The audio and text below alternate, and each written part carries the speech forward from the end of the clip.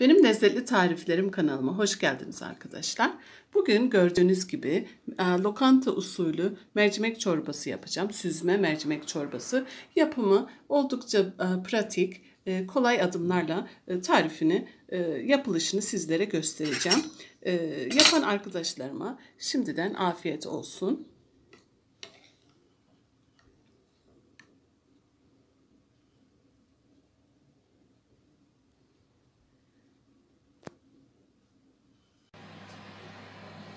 Evet arkadaşlar, tam ölçülü süzme mercimek çorbamız için gerekli olan malzemeler e, gördüğünüz gibi 2 e, bardak kırmızı mercimeğimiz var. Böyle boşaltıyoruz. 2 bardak kırmızı mercimeğimiz var. Yarım bardak, yarım su bardağı da pirincimiz var. Şimdi bunları iyice yıkayarak işe başlıyoruz. Ayrıca ayrıca 2 e, diş sarımsak kullanacağız daha sonra ve 2 yemek kaşığı unumuz var. Tuz ve karabiber. Gördüğünüz gibi malzemeler oldukça az ve çok kısa sürede hazırlanıyor. E, şimdi iyice mercimeklerimizin e, nişastası gidinceye kadar, suyu berraklaşıncaya kadar 5-6 kez yıkıyoruz.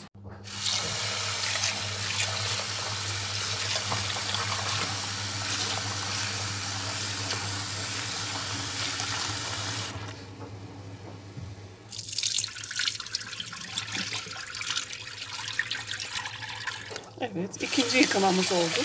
Gördüğünüz gibi suyu henüz berrak değil. İyice yıkamamız gerekiyor. Ayrıca e, ayrıca ocağa koyduğumuzda köpüklenmeler olduğunda köpükleri beyaz köpükler oluyor. Onları da almamız gerekiyor. Henüz suyu berrak değil. Üçüncü yıkamamız devam ediyoruz. İyice yıkıyoruz. Henüz bakın berrak değil. Yine bir kez daha döküyoruz. Evet. Pirinç koymamızın sebebi tek mercimek yaptığımızda e, mercimek biraz ağır oluyor. Pirinç onu dengeliyor. O yüzden. Evet. Bundan sonra artık bu yeterli. Su doldurup ocağa alacağım. Ne kadar su koyacağız derseniz mercimeği biraz geçinceye kadar su koyacağız.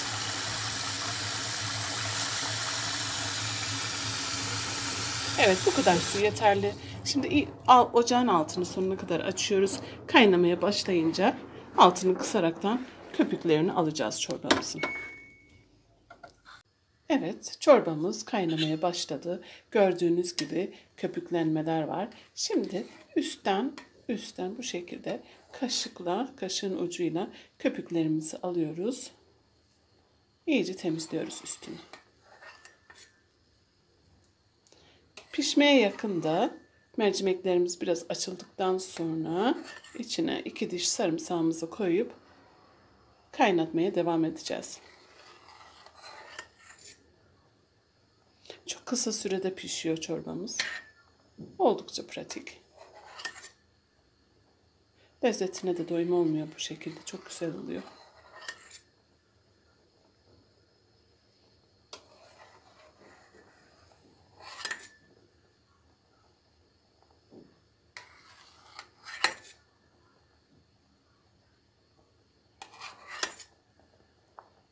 Evet şimdi kaynamaya başladığı için altını kısacağım biraz. Yavaş yavaş mercimeklerin pişmesini isteyeceğim. Köpüklerini almaya devam ediyoruz.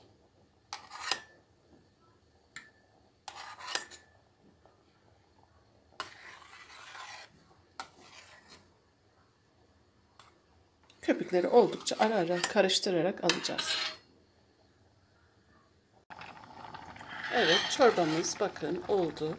Mercimeğimiz açıldı. E, suyu az kaldı gördüğünüz gibi. Onun için üzerine sıcak su ilave edeceğim. Ve ardından evet güzel oldu. Ardından iki diş sarımsağımızı tüm olarak atıyoruz ve kaynamaya devam ediyor yemeğimiz. Çor, e, çorbamızın suyu e, çekildikçe sıcak su olmak şartıyla ilave edebiliriz. Ama kesinlikle e, kapağını kapatmıyoruz. Çünkü çorbamız taşabilir. Evet, sarımsağımız kaynıyor. Bakın 5 dakika oldu, kaynadı. Ardından unumuzu ilave edeceğim. Bir 5-10 dakika daha unumuz da kaynadıktan sonra altını kapatacağım. Bu unu ilave etmemizin sebebi iştahsız, ekmek yemeyen çocuklarınız varsa e, sadece çorbayı ekmeksiz yeseler dahi bu dok tutacaktır ve güzel yoğun bir kıvam verecektir. E, bir 10 dakikada onun e, pişmesi yeterlidir. Evet böyle karıştıraraktan. Topak olması hiç önemli değil çünkü çorbamızı blenderden geçireceğiz. Eğer altını kısarsanız 10 dakika yeterli. Eğer altı da açıksa 5 dakika falan unumuzun pişmesi yeterli olur. Evet.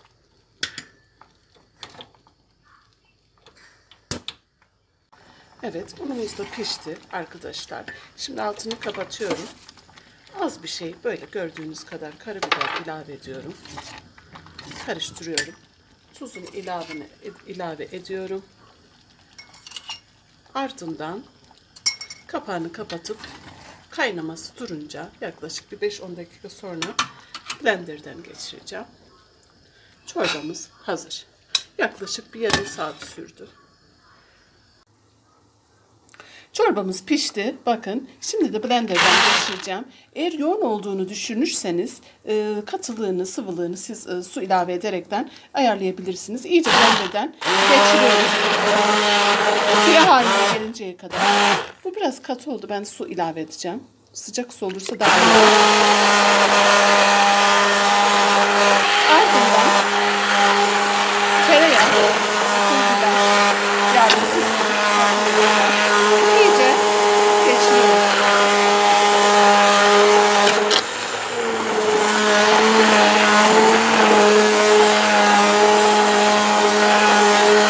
Hemen hemen hazır az kaldı. Şimdi bir katılığını kontrol etmek istiyorum. Ee, kaşığımı alayım bir saniye. Evet güzel bir yoğunluk oldu. Eğer çocuklarınız iştahsız ve ekmek yemiyorsa bu şekilde katı yaparaktan ekmeksiz çocuklarınıza yedirebilirsiniz. Aksi takdirde ben şimdi biraz daha su ilave etmek istiyorum. Çünkü biraz daha e, akışkan olmasını istiyorum. Az bir şey.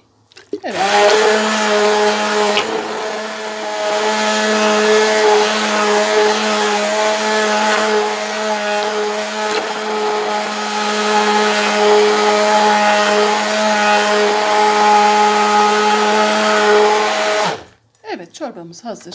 Akışkanlığı, katı yoğunluğu da güzel oldu. Ardından e, tereyağımı ve pul biberimi ilave ederekten servise hazırlayacağım. Evet arkadaşlar e, blenderden çorbamızı geçirdikten sonra mercimek çorbamız hazır. E, şu anda tereyağı da e, pul biber de hazırladım. Gördüğünüz gibi limon eşliğinde çok güzel oluyor, hafif oluyor lokanta usulü çok lezzetli bir çorba oluyor. Bakın. Evet ben izlediğiniz için teşekkür ederim. Bir sonraki videomuzda görüşmek üzere. Ee, bu tarifi deneyenlere şimdiden afiyet olsun. Bir sonraki videomuzda yine görüşmek üzere. Hoşça kalın arkadaşlar. Sevgiyle kalın.